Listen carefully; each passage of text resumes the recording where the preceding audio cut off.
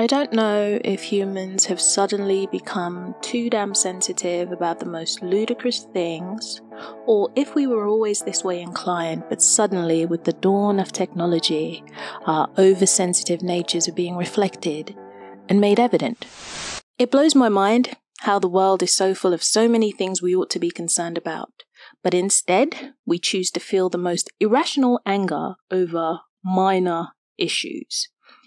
So, I watched a video recently of a young woman doing a food taste test. She was eating some Nigerian cuisine, fufu, and egusi, which I personally know is very popular amongst Nigerians. Specifically because when you grow up eating certain foods, it's not unusual to enjoy and appreciate said food. Same with a child being born into a family that does not eat meat. Said child would be used to the taste and texture of all things meat free, and therefore might be repulsed by the taste and texture of meat. We are products of our environment and upbringing for the most part. What struck me and blew my mind was the fact that there was outrage over this woman not enjoying this food and looking grossed out by eating it. The idea that an individual is chastised or cancelled, as this generation is so fond of doing, is very shocking to me. People are no longer allowed to not like something without those who like said thing feeling slighted and taking offense, bringing out their pitchforks ready to burn her at the stake because she didn't like your country's cuisine. I am Nigerian and I despise fufu. I hate the taste. I hate the texture. It just doesn't do it for me. You're supposed to swallow it, I think. I guess I deserve to be cancelled because, heaven forbid, a person dislikes something that others love. Hmm.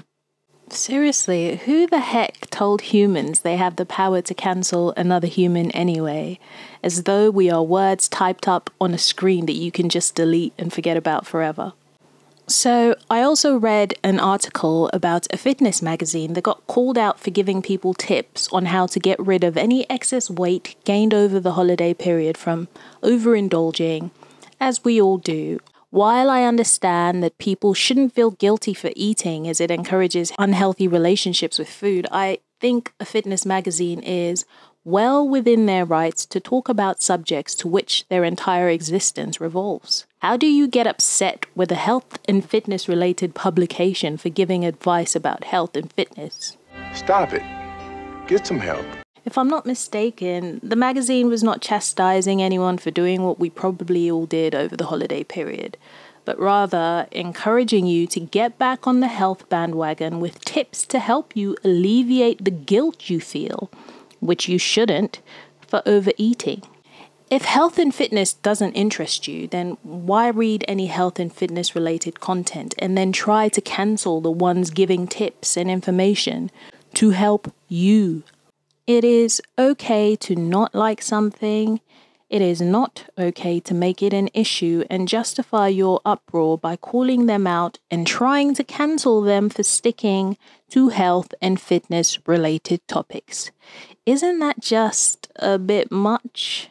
You know, do a little less.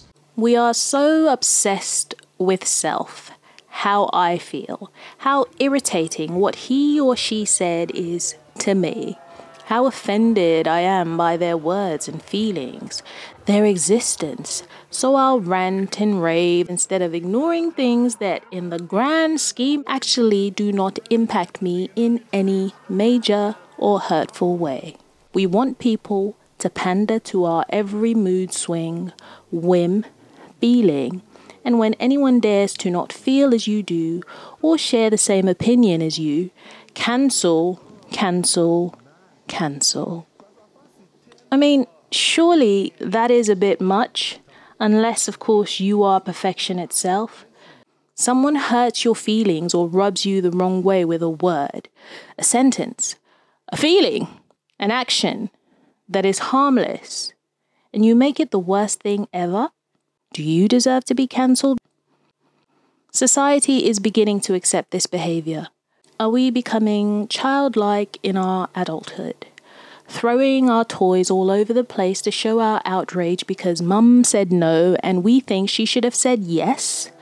What is actually going on? I am not dismissing the things that actually are valid reasons for uproar. I am not dismissing things that genuinely affect and impact people's lives so greatly that they have a right to be upset and to shout from the rooftops.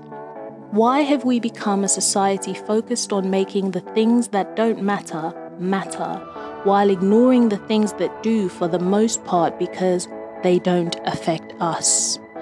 I urge you to think about what it is you are getting so upset about.